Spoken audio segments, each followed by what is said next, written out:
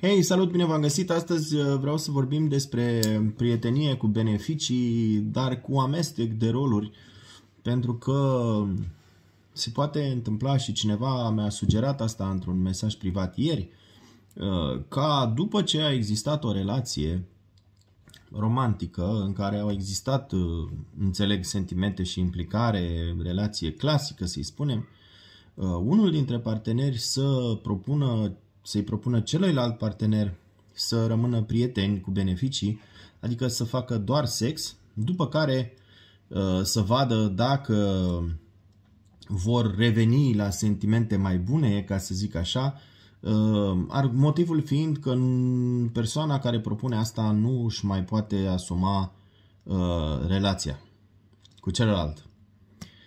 Uh, pe scurt, uh, ideea arată cam așa, am fost într-o relație romantică, acum vreau să fiu prieten și să facem doar sex și mai vedem noi dacă revenim la uh, relația romantică inițială, pentru că eu în momentul de față nu vreau să mai asum această, acest rol. Uh, dacă mă întrebați pe mine, mie mi se pare că lucrurile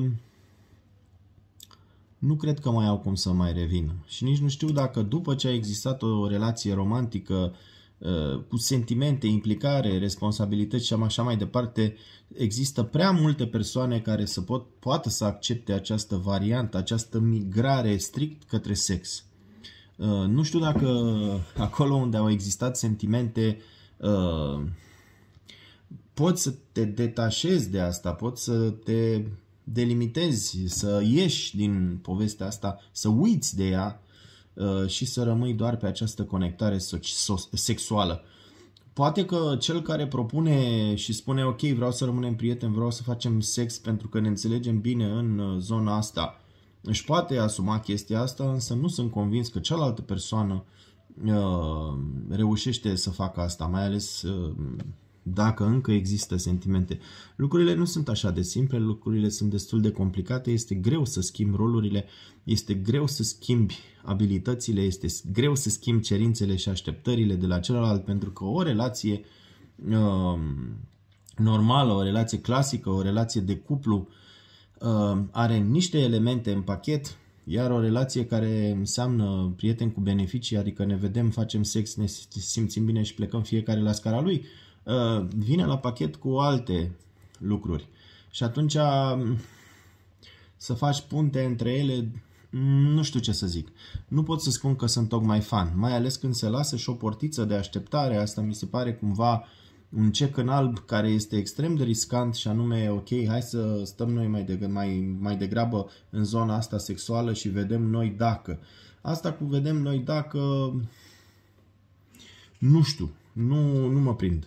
Întrebarea este de ce persoana care face această propunere nu vrea să-și mai asume o relație clasică, în schimb nu refuză sexul. Cred că aici ar fi de văzut, aici ar fi de analizat și aici ar fi de aflat care sunt motivele pentru care o persoană nu-și mai dorește să formeze o relație cu tine, în schimb nu are nicio problemă să te frecventeze din punct de vedere sexual.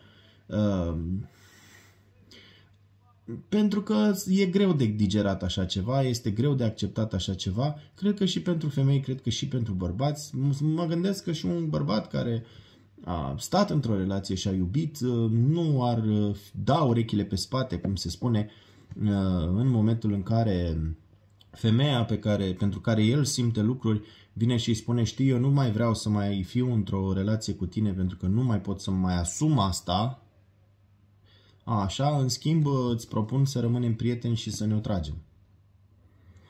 Nu știu cum ar fi prima întâlnire asta cu trasul. Da? Uh, dacă cei doi reușesc să pună cărțile pe masă și să renegocieze și să reașeze uh, dinamica interacțiunii lor, nu contest că nu s-ar putea. Ideea este ce fel de energie au rămas din vechea relație și cum reușesc ei să treacă peste asta. Uh, ori, din punctul ăsta de vedere, toate cărțile sunt pe masă și toate variantele sunt posibile. Pa!